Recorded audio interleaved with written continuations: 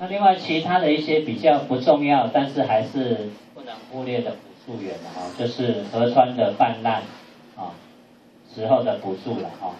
所以呢，我们现在政府就是什么，在浪费上天给我们的礼物了哈。台湾绝大部分的水就是靠台风，没有台风，台湾根本就不适合人住。对，但是我们现在台风暴雨的那些水呢，都想办法赶快把它排到海里面去，所以我们每一条排水道都把它筑的又宽又又深又直。啊，那这个影响是让呃环境很大哈。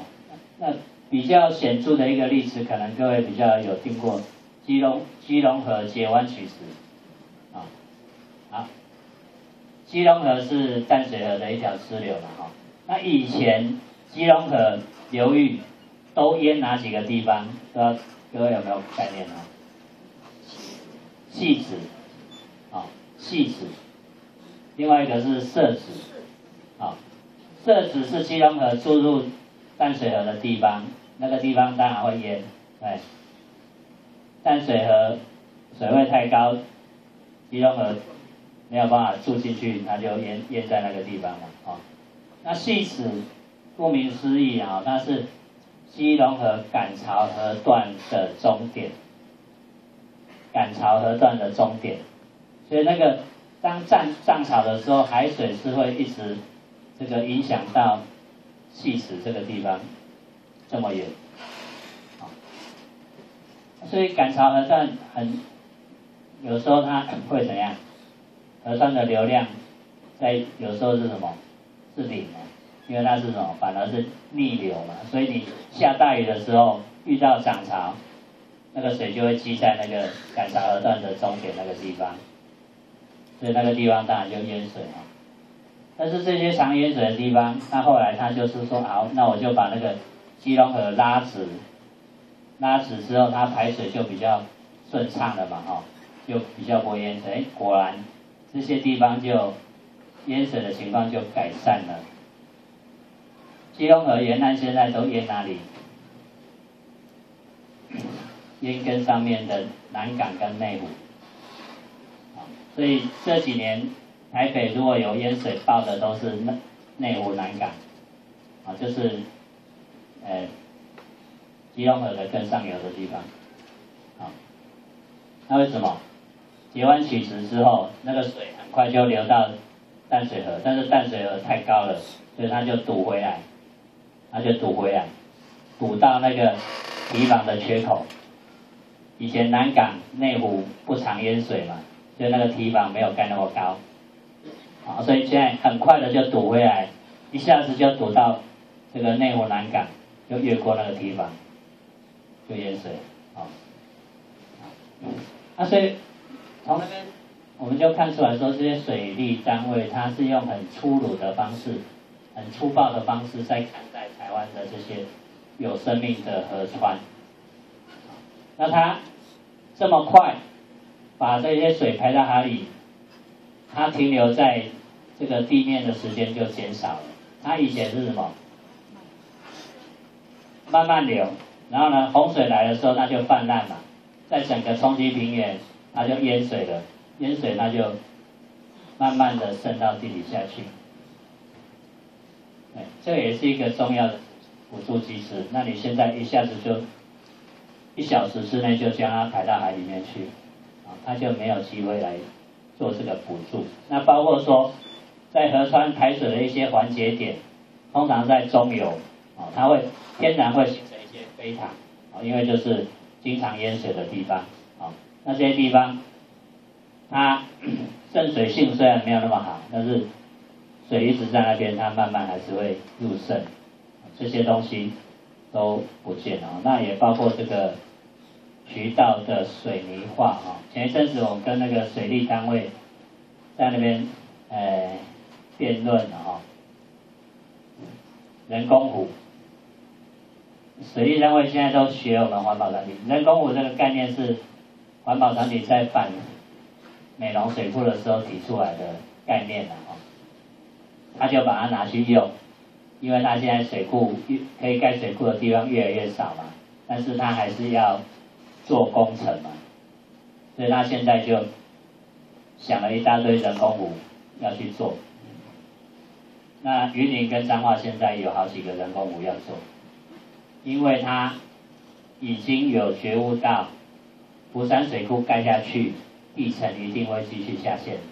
他现在私底下他不承认，公开他不承认，私底下他知道，所以他又提了将近一百亿的一个计划要去做人工湖，要去一样为了高铁。啊，那前一阵子。就是为了那些在彰化跟云林的人工湖，我就跟他讲说，你们盖这些人工湖根本没有效，没有像。它盖在哪里？盖在山顶的地方没有错，但是它是盖在浊水溪的高滩地。它引浊水溪的水到那个高滩地，那他会假设说，我从高滩地这边 注水下去，它会。渗到这个含水层这个层去，我说不会，高山地的水注下去之后又又流回浊水溪，对，等于在压给嘛，你除了那个土地从浊水溪千般百计的去拦了一些水，注到这个人工湖又流回浊水溪，对，那我就跟他提一个替代方案，我说不用花那么多钱。你把那个钱拿去补助水利会，把那个八宝菌啊、四仔贝菌啊、水泥通通打掉，那个补助的效果就是你这个人工湖的几十倍。它在流经那个冲积扇扇顶地区的那个地级补助区的时候，它就啊，那个我在讲义里面有提到啊，嗯，甲级乙级。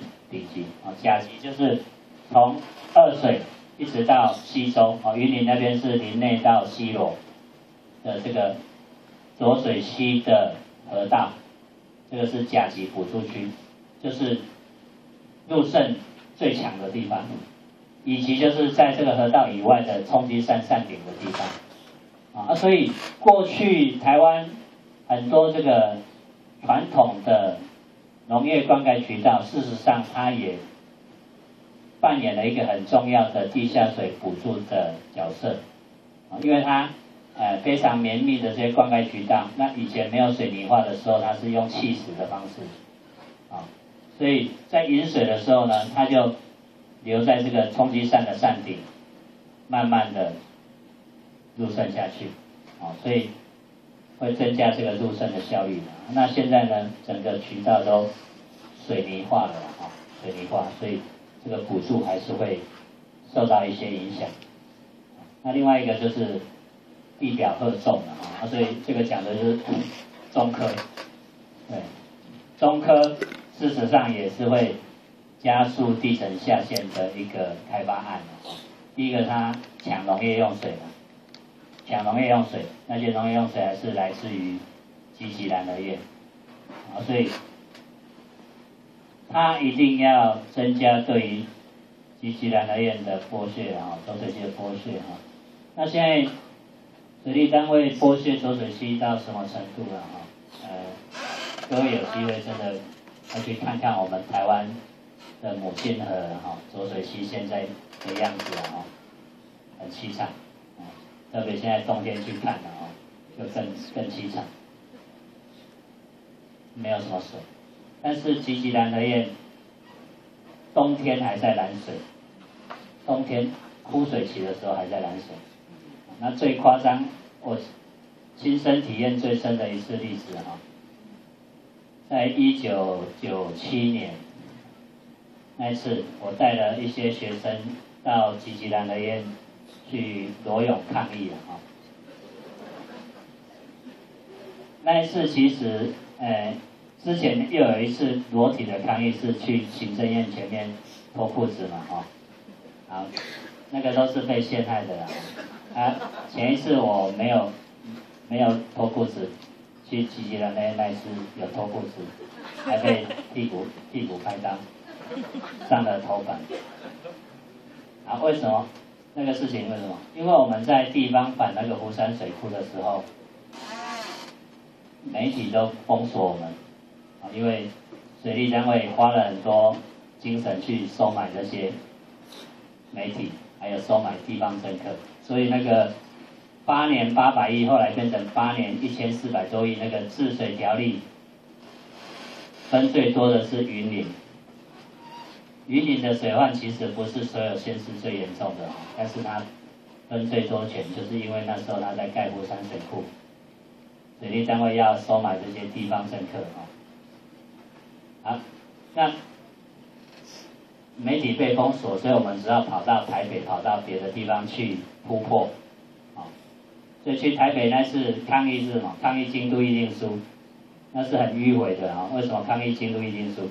就是说，呃。这个六氢还有后续的国光石化，这个呃台塑炼钢，它是会制造非常多的温室气体，会影响我们这个台湾在这个温室气体的管制。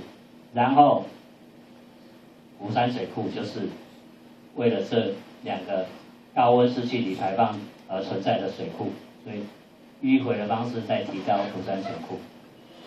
好，去吉吉兰的院。抗议那次也是为了基这个湖山水库，就是说湖山水库会重蹈基吉兰河院的覆辙，啊，所以那时候我们就这个想去凸显这个基吉兰河院对浊水溪的伤害。那那时候正好是那个杨儒门被抓去关的时候，那我们为了也是代代表我们张云地区。浊水溪的子民对他的这个尊敬的哈，深远的哈，所以我就设计了一个百米炸弹客炸毁吉吉兰和院的那个场景剧情这样子。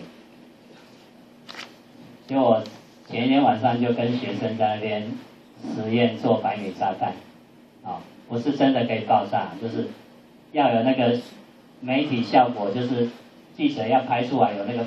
好像爆炸有火花嘛，哈，结果发现我们技术不好，只有这个一阵烟这样子，都没有火花，那我就很头痛，这样子拍出来画面很难看，那个篇幅一定很小，所以我们就赶快补了一个裸泳的剧情。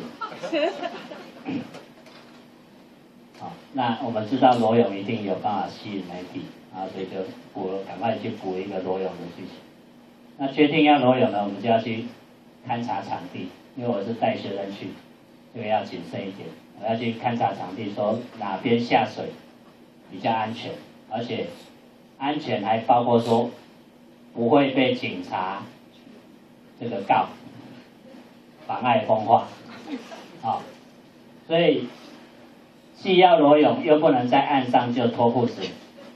好，然后我又知道我们这些学生都不会游泳，所以一定要找一个他踩得到底的地方，就很平缓，可以下水，然后到一个可以淹到肚子的地方，大家再把内裤脱掉，啊，然后游泳的时候露出屁股，让媒体知道我们是真的有在裸泳这样子，啊，所以我就前天下午去看。哎，看好了一个地方，哎，这个地方很适合，就正好符合我那个条件。结果隔天去到现场的时候，傻眼了，那个地方离水面有将近十公尺这么高。为什么？因为中水局、吉吉兰黑暗管理局知道隔天。有很多媒体要去，会把他们冬天还在拦水的这个事实爆出来。那时候是枯水期的末期，三月二十号。啊，照理讲，吉吉兰那边是不该拦水的，结果他还是在拦水。啊，所以呢，他连夜把那个水放掉，所以隔天去的时候，出现了一个十米的落差，哎。后来我们只好想办法用跳水的跳下去了啊。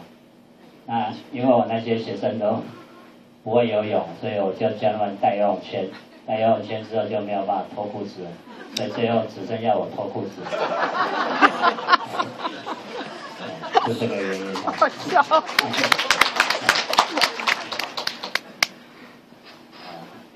啊，所以为了为了环境啊，真的大家要聊了一点啊，啊，回来讲啊，就是说我们可以看出来哈，最根结的原因就是我们对河川的态度错误。